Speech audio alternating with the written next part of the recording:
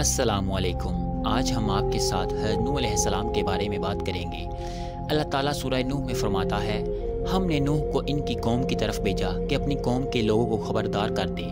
बेशतर इसके कि इन पर दर्द देने वाला अजाब वाक़ हो। उन्होंने कहा ए कौम, मैं तुमको खुले तौर पर नसीहत करता हूँ कि अल्लाह की इबादत करो और इससे डरो और मेरा कहा मानो, वो तुम्हारे गुनाह बख्श देगा और मौत के वक्त मुकर तक तुमको मोहलत अता करेगा।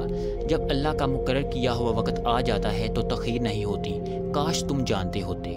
जब लोगों ने ना माना तो नू सलाम ने अल्लाह से अर्ज़ की ए परवरदिगार, मैं अपनी कौम को दिन रात बुलाता रहा, लेकिन मेरे बुलाने से वो और ज़्यादा गुरेज करते रहे। जब भी मैंने इनको बुलाया कि तोबा करें और तू इनको माफ़ फरमाए तो उन्होंने अपने कानों में उंगलियाँ दे ली।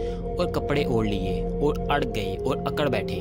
फिर मैंने इनको खुले तौर पर बुलाता रहा और ज़ाहिर और पोशीदा हर तरह समझाता रहा और कहा कि अपने परवरदिगार से माफ़ी मांगो कि वो बड़ा माफ़ करने वाला है। वो तुम पर आसमान से लगातार मीना बरसाएगा और माल और बेटों से तुम्हारी मदद फरमाएगा और तुम्हें बाग अता करेगा और उनमें तुम्हारे लिए नहरें बहा देगा।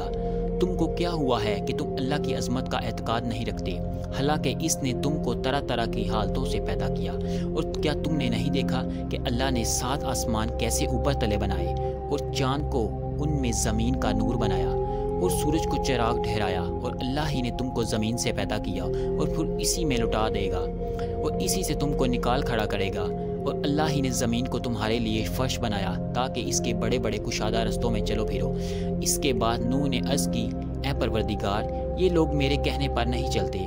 ये ऐसो किताबियाँ हैं जिनको इनके माल औलाद ने नुकसान के सिवा कुछ नहीं दिया। और वो बड़ी बड़ी चालें चले और कहने लगे कि अपने मबूदों को हरगिज़ ना छोड़ना और वुद और स्वा और यगूस और यकूक और नसर को कभी तर्क ना करना।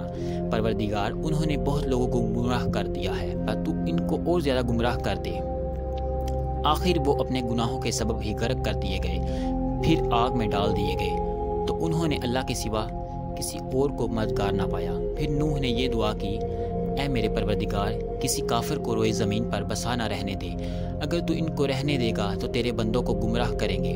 और इनसे जो औलाद होगी, वो भी बदकार और ना शुक्रगुजार होगी। ए मेरे परवरदिगार, मुझको और मेरे माँ बाप को, और जो ईमान लाकर मेरे घर में आए, इसको और तमाम ईमान वाले, मर्दों और ईमान वाली औरतों को मुआफ़ फरमा। और ालिम लोगों के लिए और ज़्यादा तबाही बढ़ा।